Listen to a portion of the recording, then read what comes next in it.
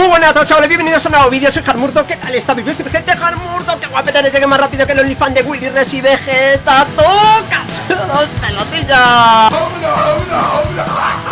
Bueno chavales, en el día de hoy os traigo información muy muy interesante Así que te mando a tu tía, vete mando a tu abuela, vete mando a tu vecina y por supuesto a... Hola, soy el Cenjas En el día de hoy os traigo información tofes Así que correr y a verlo, placa, placa, bam, brrr. Real hasta la muerte, baby Ay, que no llego bueno chavales, en el día de hoy os he reunido a todos aquí porque os traigo una información muy muy contundente para todo el mundo mundial y es información que me habéis estado pasando por el Instagram. Muchos de vosotros, digamos de que me habéis enviado exactamente lo mismo y es digno de comentar en este vídeo porque digamos de que algo espectacular y que no sucede todos los días, ¿vale? Así que bueno, para otra vez os pediría de que por favor me dejéis girar y demás ya que digamos que empecé a ver un montonazo de mensajes ahí en el Instagram y me quedé con la pelotilla encajada en el culo y en un primer momento pues asustado, ¿vale? Murti, ¿cuál es el mejunje de esta historia? Pues muy sencillo, resulta que la gente que tenía el título de Cyberpunk 2077 reservado se les ha enviado un mensaje para decirlo de que se retrasaba la reserva y toda la historia, ¿vale? O que se retrasaba el juego, pero ahora viene lo chidote. Y se trata de que hay personas que no han reservado el título y que están recibiendo este mensaje, que lo vamos a leer a continuación para que vosotros lo veáis y podáis ver la información y toda la historia. Y esto no sucede todos los días. Es decir, si tú coges, por ejemplo, y no le dices absolutamente nada a Sony, ¿vale? Que en estos casos hay que estar muy callados, en el sentido de que una cosa es que yo coja, suba un vídeo, lo compartáis con vuestros amigos y tal, y no se dé cuenta ni nadie, porque ya sabéis que el planeta es muy, muy grande. Pero otra cosa es que vayas donde Sony le digas, oye, que me ha llegado este mensaje y tal, ¿por qué me ha llegado? Es que estas cosas no se tienen que hacer porque si no ellos ya saltan las alertas y por lo tanto puede que jodan el chollo, ¿vale? Entonces por lo tanto esto sí, aunque este vídeo llegue a un número bastante alto de personas lo compartáis con vuestros, vuestros amigos, no pasa nada. El problema es si tú vas donde Sony y le comunicas lo que está sucediendo, ¿vale? Entonces por eso chavales, entrar despacito, estar con cuidado y vamos a leer esto que seguramente que a muchos otros ha llegado y ahora os digo qué es lo que puede suceder. Dice lo siguiente, ¿vale? Tu reserva de Cyberpunk 2077 tiene una nueva fecha de lanzamiento y estará disponible el día 10 de 12 de 2020, es decir, está retrasado hasta el día 10 de diciembre. Si no quieres esperar, puedes cancelar tu pedido y recibir un reembolso completo contactando con el servicio de atención al cliente en la página de PlayStation y demás. Si no tenemos noticias tuyas antes del 10 de diciembre, supondremos que te gustaría mantener tu pedido. Claro que sí, porque este mensaje no es solamente para las personas que ha cogido y que lo han reservado. Hay gente que no ha reservado el título, como es el caso de este mensaje y de un montonazo de mensajes que me habéis pasado por Instagram. Y realmente esto es lo chido, ¿vale? La cancelación del pedido también cancelará cualquier regalo relacionado con la compra que se haya concebido en el momento de la reserva.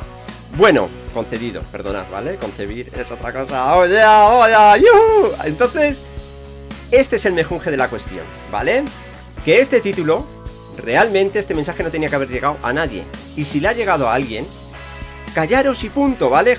si intenta hacer el reembolso y tal, pues no lo sé. Yo realmente no sé si es... Es que esto a lo mejor, si ven de que todo el mundo está pidiendo reembolso y todo, podrían saltar las alarmas.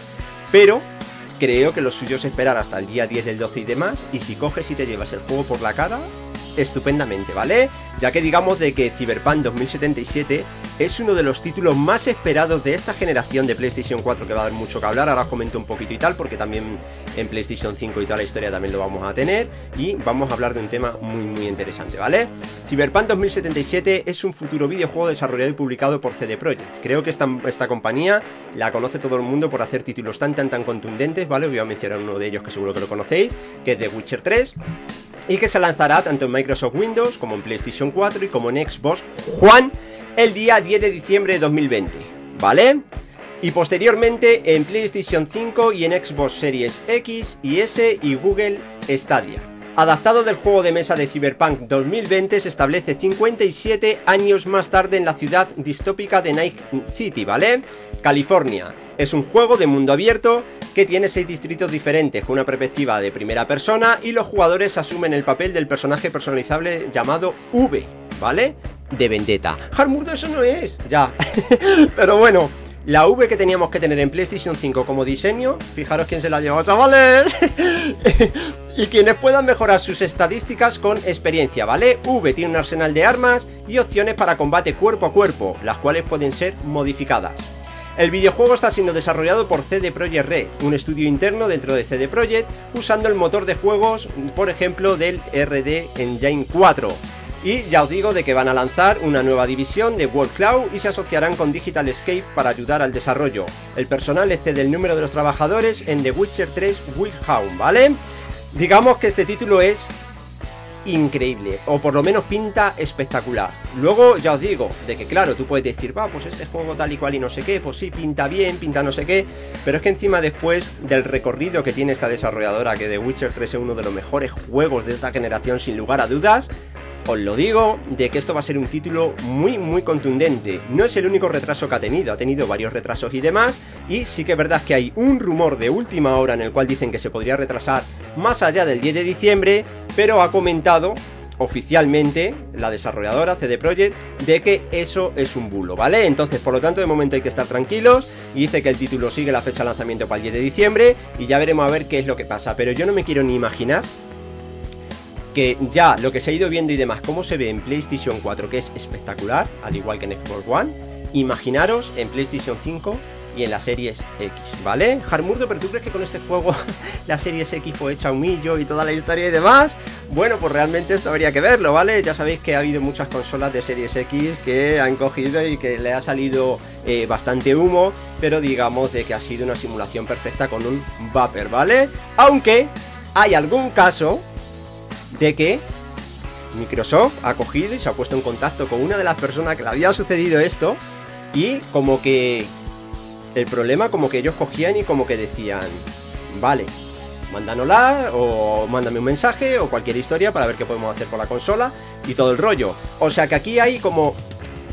Se está claro que con un Vapor se puede hacer, pero no quita de que a lo mejor alguna consola le haya pasado esto y ahora con el tema del Vapor pues digamos de que ya no pasa nada ni nada. Las consolas tienen errores, las consolas es muy, muy, muy, muy importante el coger y el esperarse un poquito a su fecha de lanzamiento. Nosotros ahora mismo somos conojillos de indias. El que tiene ahora mismo una Series X está puesto a que le salga con fallos. Cuando salga la PlayStation 5 está uno, pues eso, de que te venga alguna consola defectuosa, ¿vale? Yo por eso estoy cruzando los dedos y estoy temblando porque todas estas cosas suceden y os lo he dicho siempre, lanzarse de cabeza por una consola de salida es una auténtica locura y por lo tanto esperar a ver cómo va todo ya que digamos de que seguramente con PlayStation 5 también haya consolas que fallen y toda la historia. Es que esto ha pasado siempre, con cualquier producto nuevo que se hacen en masa, pues digamos de que siempre alguna, tal, esperemos que no nos toque a nosotros, ¿vale? Porque luego tenemos también tanta suerte muchísimas cosas que digamos que me cago en la puta, ¿vale, chavales? Hardmurdo, no digas palabrotas, claro que sí, campeones, ¡Yuhu! ¿ves? Pero yo arreglo así y el algoritmo ya no sabe si he dicho palabrota o palabrostias, ¿vale, chavales? Vamos allá, eh, eh, eh. ¿hola?